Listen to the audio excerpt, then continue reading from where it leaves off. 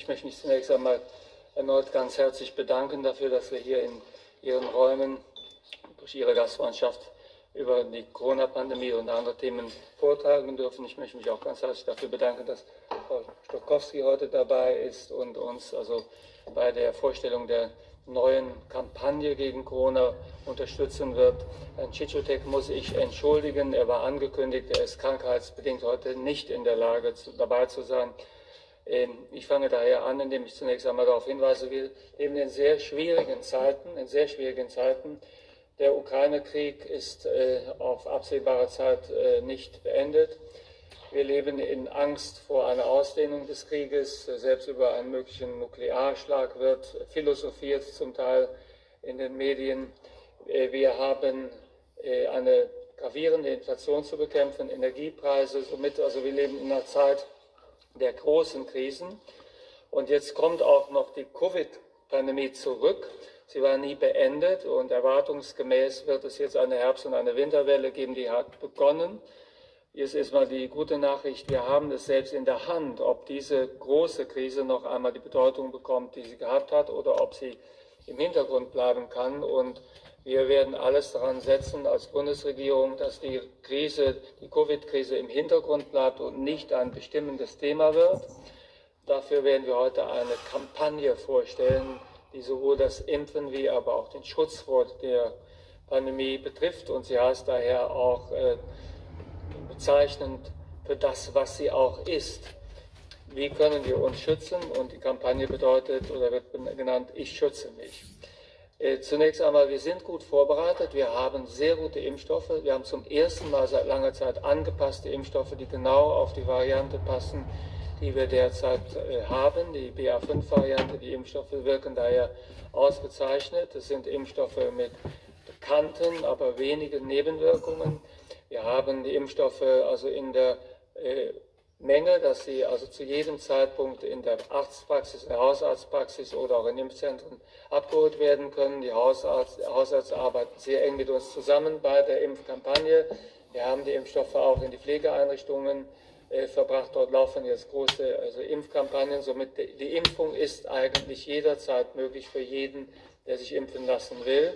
Zum Zweiten, wir haben also gute Medikamente gegen Covid, insbesondere Paxlovid. Zum Dritten, wir haben eine sehr gute Übersicht über das äh, Infektionsgeschehen. Der Pandemie-Radar ist am Netz. Wir haben jetzt auch die Abwasserdaten am Netz. Wir sehen, dass die Parameter sich derzeit verschlechtern, aber wir können das sehr gut planen im Moment. Und zum Vierten, wir haben ein Infektionsschutzgesetz, mit dem es den Ländern möglich ist, zu jedem Zeitpunkt jetzt zusätzliche Maßnahmen zu ergreifen, zum Beispiel auch die Maskenpflicht in den Innenräumen zu vereinbaren. Somit diese vier Elemente, Impfstoffe, Medikamente, Pandemie-Radar und Infektionsschutzgesetz. Mit diesen vier Maßnahmen wäre zu jedem Zeitpunkt das Infektionsgeschehen beherrschbar. Ich bringe hier nur ein Beispiel. Wenn jemand jetzt drei Impfungen hat und geht über zur vierten Impfung, und ist über 60 Jahre alt, dann reduziert er damit sein Sterberisiko durch diese zusätzliche Impfung noch einmal um 90 Prozent.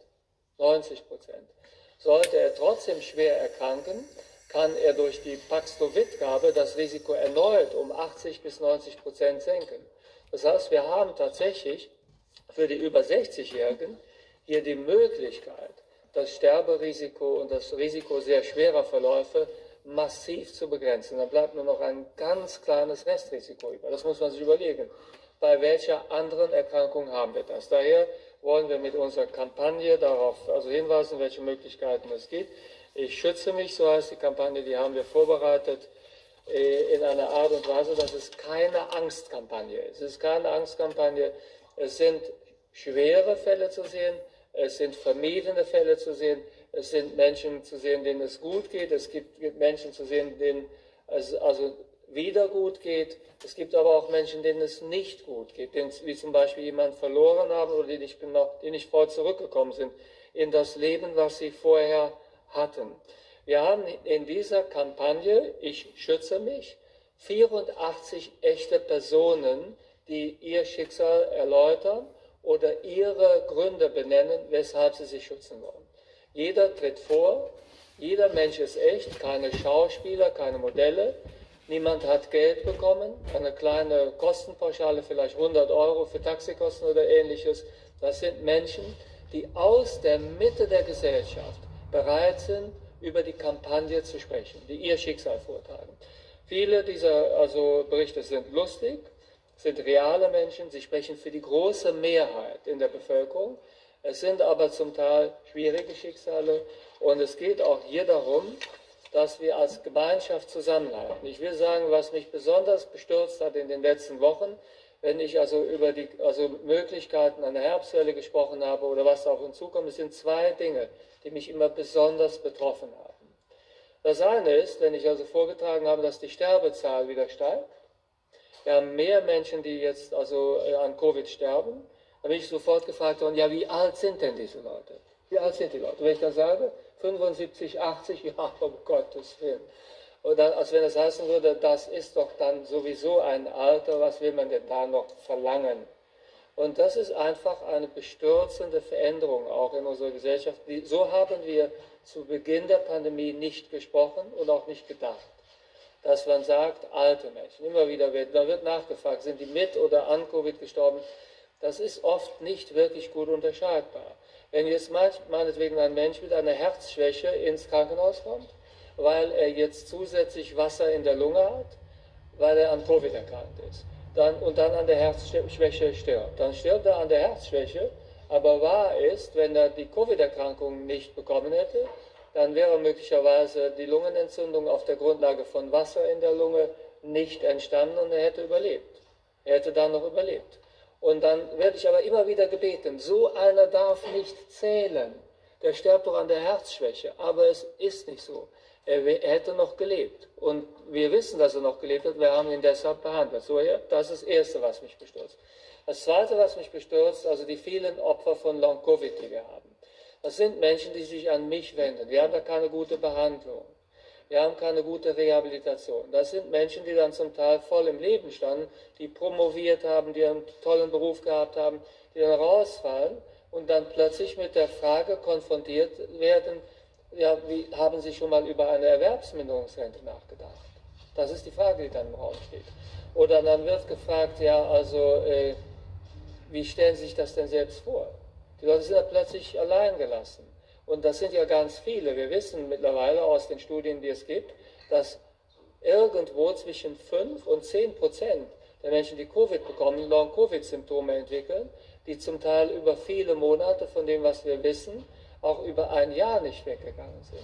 Und aus der ersten SARS-Welle 2002, 2003 wissen wir, dass diejenigen, die damals Long-Covid bekommen haben, zu einem großen Teil auch nach 15 Jahren nicht waren. Es ist die Lage jetzt eine bessere, weil jetzt die Forschung eine ganz andere ist als die 2002, 2003. Das heißt, wir werden da tatsächlich eine deutlich bessere Erforschung der Krankheit hinbekommen und ich bin auch zuversichtlich, dass wir das hinbekommen. Aber auch diesen Menschen wird diese Kampagne, ich schütze mich, eine Stimme geben.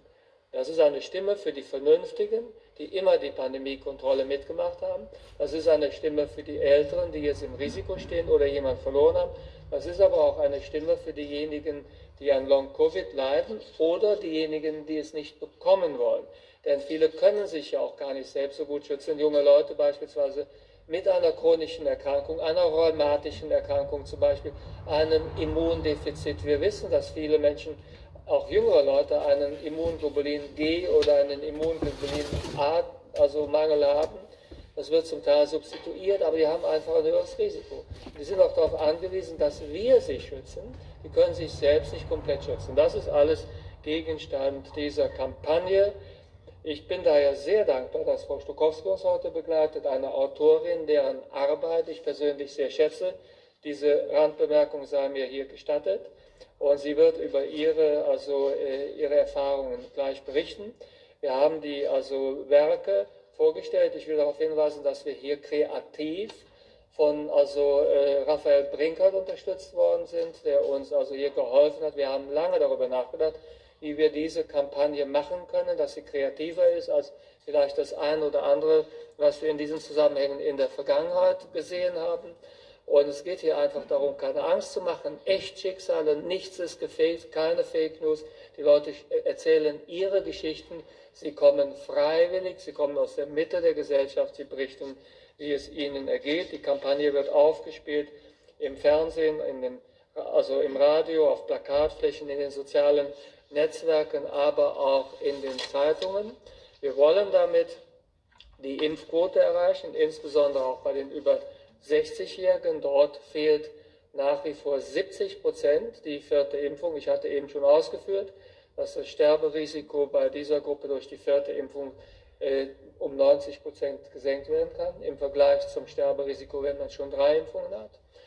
Das ist zumindest die Lage einiger sehr wichtiger Studien. Und wir wollen auch all diejenigen erreichen, die also einfach bereit sind, dann wieder die Maske zu tragen. Lassen Sie mich schließen mit einem ehrlichen Wort in Richtung der Bundesländer. Ähm, es ist jetzt wirklich an der Zeit, die Fallzahlen steigen. Die Zahl der Todesfälle mit und an Corona steigt.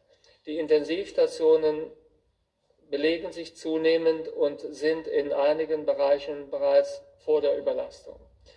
Wir haben darüber hinaus keinen Grund anzunehmen, dass die Welle, die wir jetzt vor uns haben, dass sie sich selbst begrenzt. Das heißt, es wird einfach immer so weitergehen und die Frage ist, zumindest für die nächsten Wochen wird es so weitergehen, dann wird es vielleicht mal etwas langsamer steigen, dann wieder schneller steigen, dann wieder etwas langsamer steigen, aber die Richtung, in die wir unterwegs sind, ist keine gute. Und wir wissen aus der Pandemie, je früher man die Bremse tritt, desto besser ist es, weil wir müssen lange auf der Bremse bleiben. Daher wäre es sinnvoll, mit geringen Einschränkungen jetzt zu arbeiten, als mit sehr drastischen Einschränkungen spät zu reagieren. Und das ist mein Appell wirklich an die Länder, dass die Länder überlegen, ob nicht jetzt schon darüber nachgedacht werden sollte, machen wir in den Innenräumen die Masken, äh, die Masken zur Pflicht. Weil es ist etwas, was viele Bürger mittlerweile auch wünschen. Ich schließe mich der Präsidentin der Bundesärztekammer, Frau der, äh, der, des Marburger Bundes, Frau Johanna, äh, an, die gestern gesagt hat, wir müssen darüber nachdenken, denn mit dem Maskentragen in den Innenräumen können wir die jetzige Welle gut begrenzen. Die Länder müssen das überlegen, müssen schauen, wie steht die Pandemie, muss also darüber nachgedacht werden, wann ist der optimale Zeitpunkt. Aber wir sind eigentlich mit allen Instrumenten optimal am Platz. Impfstoffe sind da, wir haben eine gute Kampagne, die stellen wir heute vor. Wir haben gute Daten. Keiner kann sagen, wir können jetzt nicht reagieren, uns fehlen die Daten. Das wäre abwegig. Ein Blick auf den Pandemieradar zeigt, dass die Daten da sind. Wir brauchen auf nichts zu warten. Das Abwassermonitoring zum Beispiel an den sechs Plätzen, wo wir es jetzt machen, zeigt ganz klar, es geht aufwärts mit den Fahrzeugen. Wir haben die Medikamente da, wir haben das Infektionsschutzgesetz, darüber ist das ganze, den ganzen Sommer darüber ist darüber gearbeitet worden. Somit äh, also können wir das jetzt beherrschen, wir können das begrenzen und dann ist es nicht so, dass in diesem schwierigen Herbst auch noch die Corona-Krise ein großes Thema würde. Vielen Dank, Herr Lauterbach. Äh, ein technischer Hinweis von mir, beziehungsweise eine dringende Bitte an die Fotografinnen und Fotografen, doch bitte pfleglich mit unseren Mikrofonen umzugehen. Das sind auch Ihre Mitgliedsbeiträge, die womöglich für eine Reparatur verwendet werden müssen. Frau Stokowski, bitteschön. Ähm, ja, hallo. Äh, mein Name ist Margarete Stokowski. Ich bin hier heute das Abschreckungsbeispiel für Long-Covid. Normalerweise bin ich Autorin, beziehungsweise ich war es vorher. Ähm, meine Infektion war im Januar. Ähm, ich war dreimal geimpft, also ich war ziemlich frisch geboostert und seitdem bin ich krank. Und seit ein paar Wochen bin ich so halbwegs auf dem Weg der Besserung, aber es gibt immer noch sehr viele Tage, an denen ich einfach nur ähm, im Bett liegen kann. Und das ist dann auch nicht so entspannt, wie das immer klingt mit dem Bett liegen und so. Also man liegt dann mit Symptomen im Bett. Und ähm, ja, ich finde sehr gut und richtig, dass es diese Aufklärungskampagne äh, jetzt gibt. Ähm, und gleichzeitig wurde ich gebeten, äh, aus meiner Perspektive zu sprechen. Und ähm, als Long-Covid-Betroffene Und da äh, muss ich sagen, ich sehe, dass total viele Leute, auch eigentlich gut informierte Leute, überhaupt keine Ahnung von Long-Covid haben. Also ähm, ich frage oft Leute, bist du eigentlich noch so müde? Müde ist echt nicht mein Problem. Ich schlafe oft 14 Stunden oder so. Ähm, ich habe andere Symptome. Ähm, oder Leute setzen Long-Covid quasi mit so einer Art Burnout oder Depression oder so gleich. Beides habe ich nicht.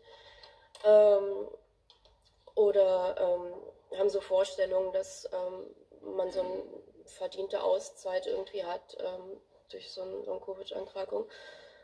Und ähm, das trifft halt alles nicht zu, das ist alles ziemlicher Quatsch. Ähm, und wenn es jetzt nur eine Aufklärungskampagne wäre, dann würde ich natürlich ähm, kritisch mich äußern, weil ähm, es dann so wäre, dass es einfach eine Individualisierung der Verantwortlichkeiten wäre, beziehungsweise eine Fortsetzung dessen. Deswegen bin ich froh, dass es jetzt diese Diskussionen gibt über, ähm, ob die Maskenpflicht in Innenräumen wieder eingeführt wird. Ähm, und ich hoffe, dass das passiert, wobei ähm, Grüße auch da von mir. Ich habe mich draußen angesteckt. Und also ich bin sehr, sehr sicher, ähm, in welchem Moment das war. Und das war draußen. Ähm, von daher kann ich persönlich äh, dazu raten, auch draußen die Maske zu tragen, wenn man ähm, Leute trifft. Und ähm, natürlich äh, hoffen Leute wie ich, ich weiß nicht, ob auch irgendwer noch über Luftfilter an Schulen oder so ähm, diskutieren wird dieses Jahr, aber ähm, das würde ich mir natürlich auch wünschen. Und dass wir natürlich die Leute vor Long-Covid nicht nur warnen, sondern auch denen helfen, ähm, die es jetzt schon haben. Und da gibt es im Moment viel zu wenig Informationen, zu wenig Behandlungsmöglichkeiten und zu viel Bürokratie. Für mich ist heute der 264. Tag ab Symptombeginn. Mein akuter Verlauf war einigermaßen mild und danach wurde ich dann halt nicht mehr gesund. Ich habe ähm, dann Long-Covid bekommen in Form von täglichen krassen Kopfschmerzen, Fatigue, Herzrasen, Schwindel, Kribbeln in verschiedenen Körperteilen, Konzentrationsstörungen, Wortfindungsstörungen und diese ganzen anderen als Brain Fog bekannten Phänomene ähm, und eine starke Belastungsintoleranz. Und das bedeutet, dass sämtliche Symptome sich bei Belastung verschlimmern. Und Belastung kann halt auch sowas sein wie, man geht zum Supermarkt, man duscht, man telefoniert. Also es können sehr banale Sachen sein. Und dieses Verschlimmern heißt, ähm, dass man dann mehrere Stunden oder mehrere Tage es einem sehr schlecht geht. Äh, als ich zum ersten Mal einen solchen Crash hatte, dachte ich, ich habe einen Herzinfarkt. Also so zur Einschätzung, wie sich das anfühlt. Das ist nicht schön. Ähm, ich habe dabei noch eigentlich dreifaches Glück im Unglück, weil ich erstens einen Arzt habe, der Long-Covid ernst nimmt. Ich war auch schon bei anderen Ärzten, die das absolut nicht ernst genommen haben. Ähm, einer davon, der sogar eine Long-Covid-Sprechstunde anbietet. Ähm, das war grotesk, aber egal. Jedenfalls habe ich einen Arzt, der sich äh, darum kümmert. Zweitens, äh, weil mein Freund mich pflegt und äh, für mich einkaufen geht und kocht und diese ganzen Sachen macht, die ich nicht mehr so gut machen kann. Ähm, und drittens, weil ich vorher ganz okay verdient habe und deswegen jetzt noch nicht arm bin durch die Krankheit. Ich sage noch, weil ähm, ich nicht weiß, wann ich gesund werde. Und sicher auch viertens, weil ich nicht so viele Deppen in meinem Umfeld habe, die generell Corona-Leugner sind oder ähm, Long-Covid für äh, Beamten oder Künstler Hysterie halten oder so. Ähm, die Versorgungslage bei Long-Covid ist weiterhin sehr schlecht. Ich habe jetzt seit Anfang des Jahres die Krankheit und mein erster Termin in der Long-Covid-Sprechstunde in der Charité hier in Berlin ist in der zweiten Novemberhälfte und das war der frühestmögliche Termin.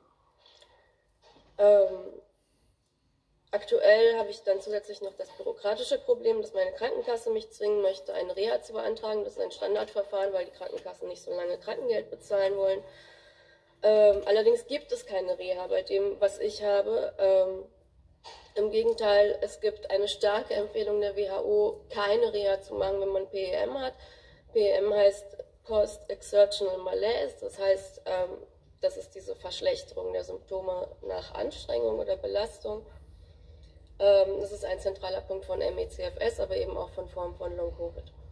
Ähm, ich weiß nicht, ob den Krankenkassen diese Empfehlung nicht ähm, bekannt ist oder ob sie sie bewusst ignorieren. Es geht natürlich ums Geld in dem Fall. Ähm, eine nicht geglückte Reha ist gleichzeitig ein Rentenantrag und dann zahlt halt die Rentenkasse und nicht die Krankenkasse. Das ist äh, der ganze finanzielle Witz an der Sache.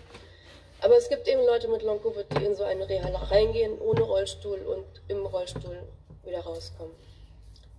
Weil das, naja, Belastung und so, ähm, sollte man vermeiden. Ich habe jetzt gerade schon im ECFS gesagt, das ist die schwerste Form von Long-Covid und weil die Forschung dazu und ähm, die Aufklärung darüber über Jahrzehnte vernachlässigt wurde, gibt es jetzt auch so wenig Hilfe bei Long-Covid und ich habe bisher über 1000 Euro ausgegeben für Sachen, wo ich rumprobiert habe, ob sie mir helfen. Also Medikamente, Nahrungsergänzungsmittel, Kompressionskleidung, eine Apple Watch, mit der man ein EKG machen kann, Botox gegen Kopfschmerzen, ähm, Manche Sachen haben geholfen, manche nicht. Aber es hat halt auch nicht jeder über 1000 Euro, um ein bisschen rumzuprobieren. Long-Covid und MECFS sind beides keine tödlichen Krankheiten. Man stirbt eigentlich nicht daran, aber für MECFS weiß man jetzt schon, dass es da eine ziemlich hohe Suizidrate gibt. Und das liegt nicht nur daran, dass diese Leute schwer krank sind, sondern auch daran, dass sie zu wenig gesellschaftliche Unterstützung bekommen und dadurch jede Art von Hoffnung auf Besserung verlieren. Und das hat auch politische Gründe. Mangelnde Forschung, mangelnde Versorgung und Unterstützung.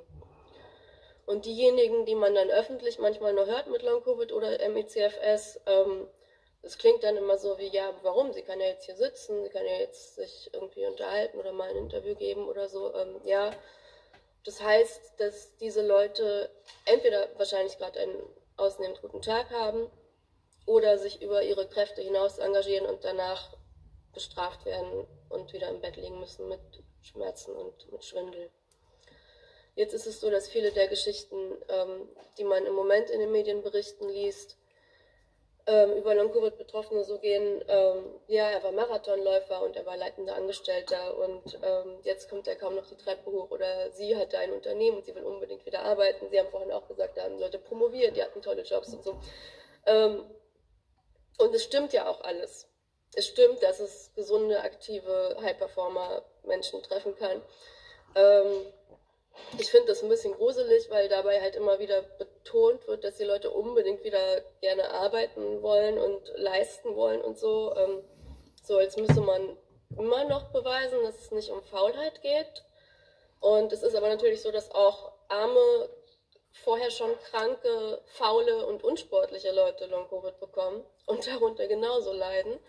Vielleicht sogar noch mehr, wenn sie arm sind und sich diese ganzen Experimente nicht leisten können. Und ähm, vielleicht auch Leute, die nicht das Glück haben, sozial gut abgesichert zu sein, die haben keinen haben, der sie pflegt. Und ähm, vielleicht auch einen nicht so ähm, guten Hausarzt haben.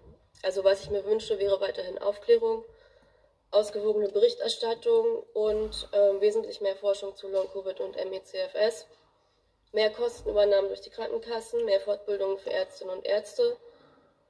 Weil äh, wenn das nicht passiert, dann hängt es wie bisher von Privilegien, Geld und Glück ab, ob man diese Krankheit schafft zu besiegen und das wäre bitter. Dankeschön. Dankeschön bis hierher. Dann sind wir bei Fragen und starten mit dem ZDF. Frau Spiekermann, wenn Sie sich auch kurz vorstellen. Herr Spiekermann vom ZDF Hauptstadtstudio.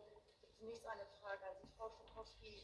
Sie haben ja im Prinzip alles richtig gemacht. Also Sie sagen, Sie äh, sind mehrfach geimpft gewesen und dementsprechend auch. Wir können Sie ganz schlecht verstehen. Ich sagte, äh, Entschuldigung, weil das ein bisschen weit weg ist. Ähm, Sie sagen ja, dass Sie mehrfach geimpft sind, also auch Geburt, wenn ich das richtig verstanden habe. Ähm, wie erklären Sie sich, dass Sie trotzdem so derartig erkrankt sind und ähm, gleichzeitig werben Sie auch für Impfung? Haben Sie da nicht auch Zweifel, dass das möglicherweise nicht so geschützt hat, wie Sie sich das erhofft haben, weil Sie ja trotz Impfung schwer erkrankt sind? Ja, wie erkläre ich mir das? Ähm, keine Ahnung, kann ich mir nicht erklären. Also es ist so, ähm, ich kenne auch Leute, die nicht geimpft waren und Long-Covid haben, von daher äh, also keine Ahnung, äh, wie das bei mir gelaufen wäre, wenn ich nicht geimpft gewesen wäre. Ähm, natürlich hätte ich gehofft, dass die Impfung äh, mich auch vor Long-Covid schützt und es scheint ja rein statistisch bei vielen Leuten so zu sein. Ähm, ich war vorher einigermaßen gesund also das, weswegen ich in Behandlung war, spielt keine Rolle. Sowas wie Schilddrüsentabletten, das äh, nehmen viele Frauen in meinem Alter. Ähm, und hatte keine relevanten ähm, Vorerkrankungen. Ähm, von daher weiß ich nicht, ähm, warum ich so erkrankt bin. Und ähm, klar hätte ich mir gewünscht, dass die Impfung ähm, mich davor schützt, aber ich würde trotzdem allen Leuten raten, sich impfen zu lassen, weil ich weiß nicht, wie es ähm, mir ergangen wäre, wenn ich nicht geimpft gewesen wäre. Herr Lauterbach.